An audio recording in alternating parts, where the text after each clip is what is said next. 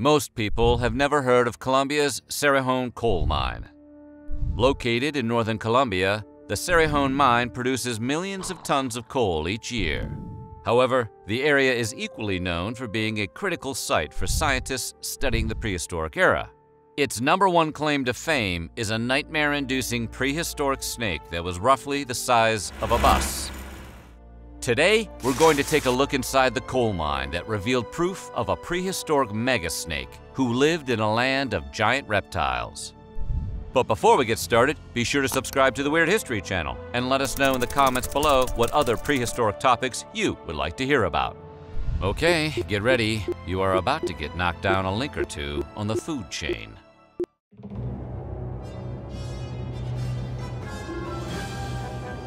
Far more than just a fossil trove, Cerrejón is one of the largest coal mines in the world. The pits stretch for 15 miles, making the mine larger than Washington, D.C., but less dirty. The mine employs about 10,000 people at any given time and produces more than 30 million tons of lung-blackening coal each year. While you'd probably assume this operation would be dangerous to the fossils and the scientific research, the truth is actually quite the contrary.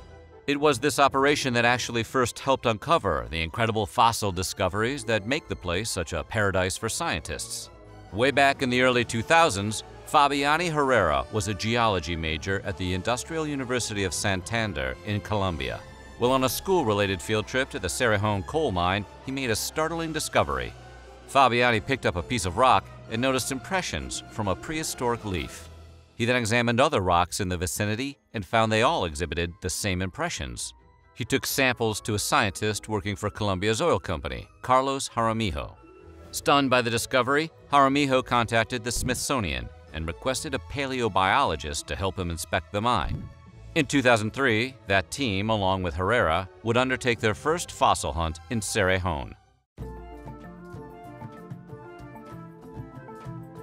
To say Herrera discovered the fossils wouldn't exactly be accurate. The coal company that mined Cerrejón had known there were fossils in their pits for some time. At least as far back as 1990, a geologist named Henry Garcia had picked one up right off the ground and put it on display in his office. He didn't know what it really was, so he called it petrified branch. But it wasn't a branch. In 2003, a paleobiologist named Scott Wing snapped a picture of the so-called petrified branch and sent it over to a colleague, Jonathan Bloch. Bloch immediately recognized that the fossil wasn't a branch at all. It was the jawbone of an animal. That may not sound very important, but as a matter of fact, it was the first fossil from a land vertebrate ever found in tropical South America. Bloch got on a plane and headed to Colombia to see the fossil in person. He made it to the mine, but when he got there, no one could seem to find the key to the display case. The eager scientists couldn't wait. They broke the glass and confirmed Bloch's assessment.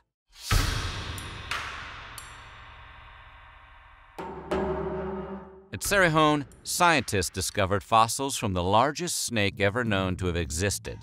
The species grew up to 49 feet in length and could weigh 2 tons. Basically your worst nightmare.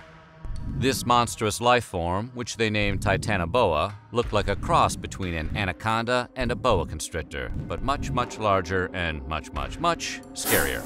Yes, Ice Cube, they do make snakes out there this big. Needless to say, it would have dominated the tropical swamp in which it lived. As an apex predator, Titanoboa would have hunted enormous animals like crocodiles and large turtles. Anyway, if the thought of a Titanoboa puckers your bum, then think about the fact that they didn't just find one snake at that Colombian coal mine. They found nearly 30. Each one measured at least 42 feet long. I'm glad we live in the era we live in.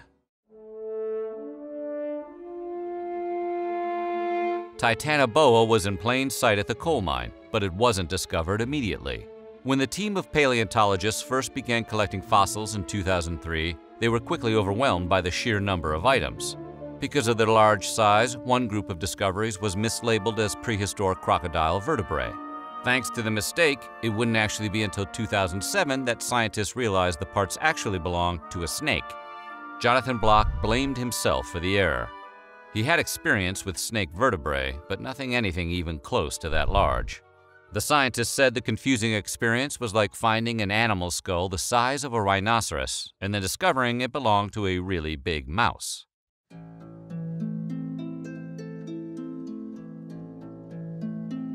As if being the largest snake in history wasn't scary enough, Titanoboa actually ranks as one of the largest animals in history, period. It could grow up to about 50 feet, which, for reference, is about as long as a school bus. In the weight department, Titanoboa could reach as much as 2,500 pounds. Oh, that's a heavy snake. Titanoboa's size also immediately helped the scientists deduce some valuable contextual information. First, as a cold-blooded reptile, the snake would have required an extremely warm climate to support its massive size. Researchers estimated that the average temperature in Titanoboa's habitat probably exceeded 90 degrees Fahrenheit, helpful evidence that shed new light on prehistoric climates.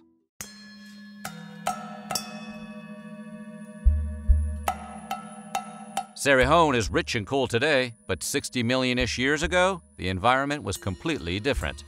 Back then, the land before time would have been covered by a swampy jungle that received almost twice as much rainfall as the Amazon rainforest receives today. The temperature would have also been higher, with averages closer to 90 degrees Fahrenheit. This mega snake-infested swamp would also be replete with palm trees that grew from muddy floodplains, surrounded by cloudy rivers. The environment would be the perfect home sweet home for a 50-foot-long, two-ton snake.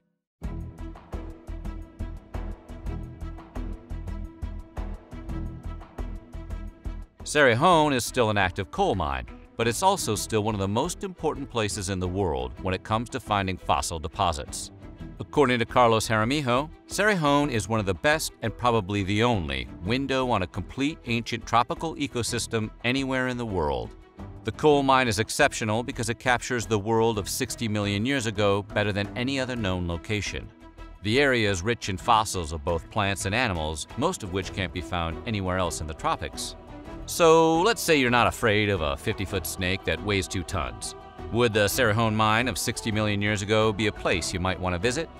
Well, before you book your trip on Expedia, know that the coal mine also contained multiple species of prehistoric crocodiles. One of those massive creatures was Anthracosuchus balrogus, a 16-foot-long, 900-pound killing machine that takes its name from a fictional creature in J.R.R. Tolkien's book Lord of the Rings. Remember that thing that was after them when Gandalf said, Run, you fools! That's a Balrog. Jonathan Bloch explained that much like Tolkien's Balrog, Anthracosuchus balrogus was awakened from deep within a mine after 60 million years trapped within the rocks of tropical South America.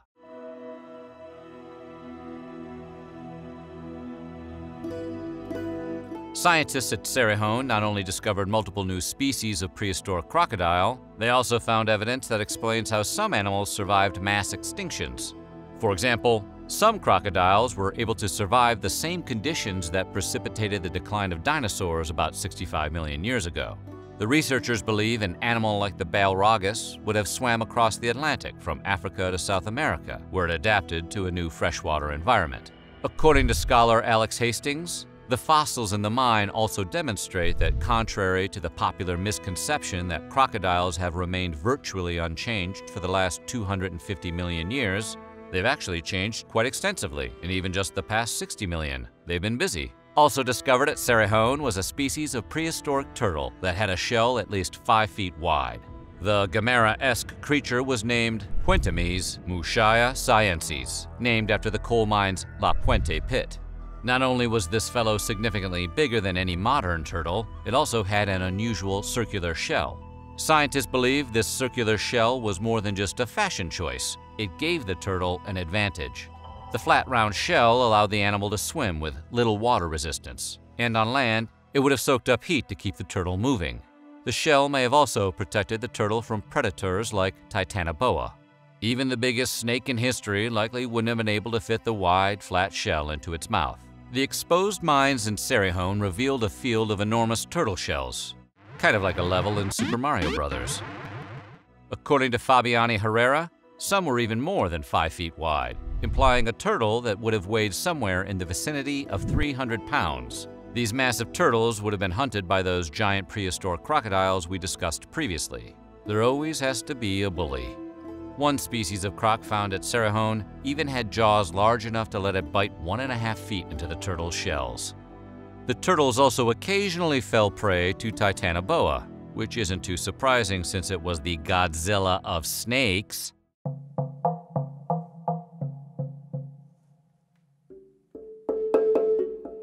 The ridge that makes up Cerrejón's coal deposit is estimated to be about 60 million years old, and it may shed light on the meteorite that struck the Yucatan Peninsula, creating an environmental crisis that wiped out the dinosaurs. Clues from Cerrejón suggest that creatures like Titanoboa thrived once the dinosaurs were gone, while other animals, like the prehistoric crocodiles who survived, had a harder time adapting to changes. The coal mining operation at Cerrejón continues to extract over 30 million tons of coal from the ground every year. The work also helps uncover new fossils. Some of the pits at the mine plunge over 300 feet down into the earth, which is about how far you have to dig to reach the world of 60 million years ago. Though their purposes are very different, the miners' tools make it much easier for the scientists to make critical discoveries.